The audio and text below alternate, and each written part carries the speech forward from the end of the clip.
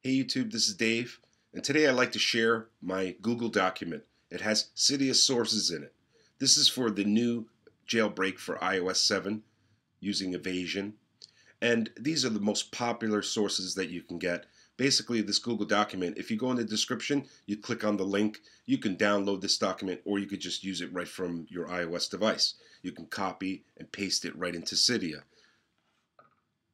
Now, all you have to do is click on Sources, edit, add, and basically cut and paste them or manually type them in.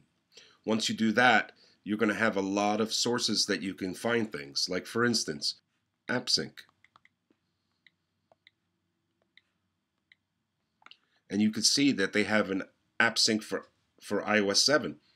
So you can go get it there. Now see how many sources you have. Three, three, two or three of them to go for. Then say you were looking for something more specific like Pandora.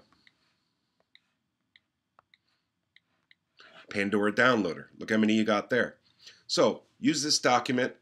I will constantly update this document, so keep checking back. And you can enjoy it, and I hope you find the hack or app or tweak that you're looking for in my Cydia source document. I hope you have a nice day, and thank you for watching.